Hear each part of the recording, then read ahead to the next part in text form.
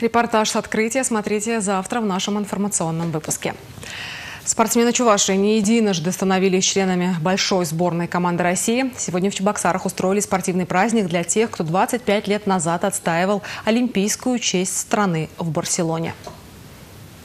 25 лет назад знойным барселонским днем хрупкая невысокая женщина стремительно выбежала на дорожку стадиона Манжуик и понеслась к финишу первая. Позади 42 километра 195 метров. Именно такое расстояние составляла марафонская дистанция. Валентина Егорова завоевала свою золотую олимпийскую медаль на 25-х Олимпийских играх в Барселоне в 92 году. На них наша землячка выступала в составе объединенной команды, в которую входили спортсмены государств бывших республик СССР. Спустя 4 года на Олимпиаде в США. Она завоевала серебро уже в составе сборной команды России. В истории отечественного марафона олимпийский успех Валентины Егоровой до сих пор остается непревзойденным слабые, нехарактерные люди не могут побеждать. Они же последний вот этот подъем э, на гору Манжевик, это вот как наш городской Октябрьский мост, как всегда я поднимаюсь, всегда вспоминаю. Это надо было километра 200, там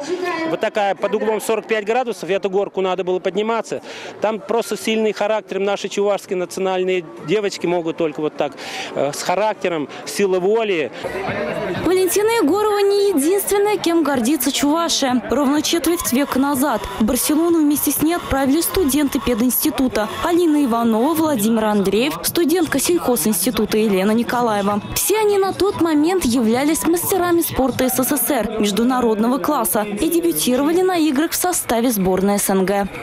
Я-то сам 13-й был, Потом вот одну Атланту пропустил, вторую Олимпиаду, третья Олимпиада у меня. Вот в Сиднее третий был, Австралии, Австралии, а Афинах, Греции, седьмой был.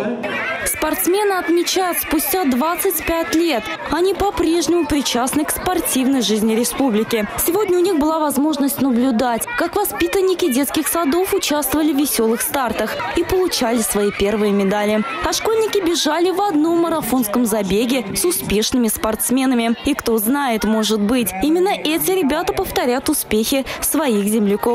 Сабина Вишневская, Мальвина Петрова, Игорь Зверев, Республика.